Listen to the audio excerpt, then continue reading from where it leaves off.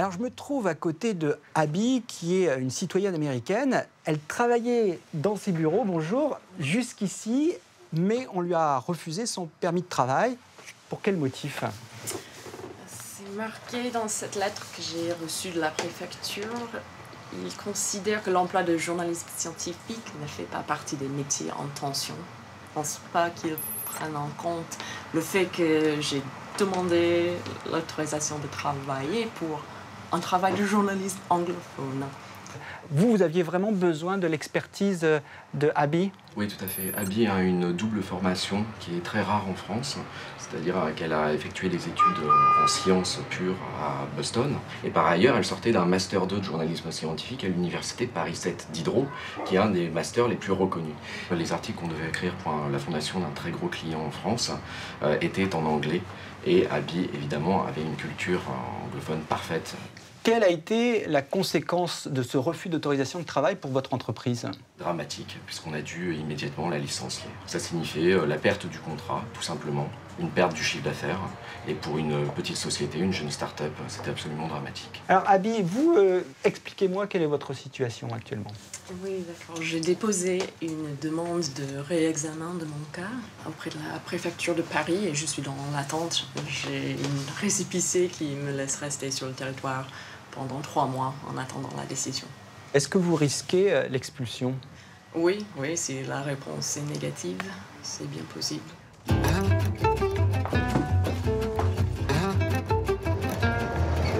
Alors bien sûr, Abby, vous n'êtes pas la seule à être dans cette situation, vous avez des compagnons d'infortune. Ah oui, j'en ai beaucoup. Et on va voir maintenant d'autres étudiants qui sont dans ma situation.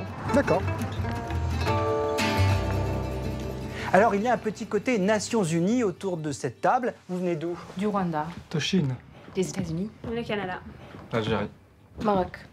Et tous ces jeunes gens hautement qualifiés sont considérés comme persona non grata dans la patrie des droits de l'homme.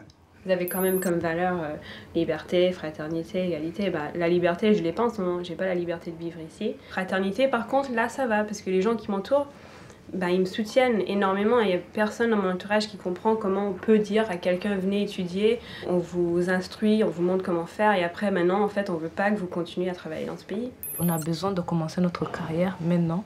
On n'a pas le temps à perdre, on a des projets pour l'avenir. C'est une situation très très difficile.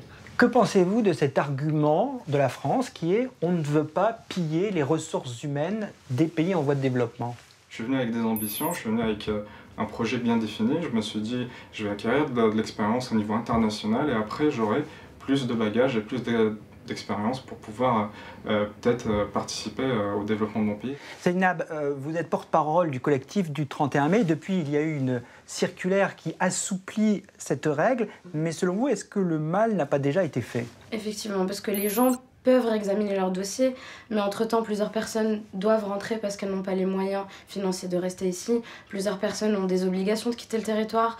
Euh, plusieurs personnes se retrouvent sans entreprise. Donc euh, finalement, oui, le mal a été fait.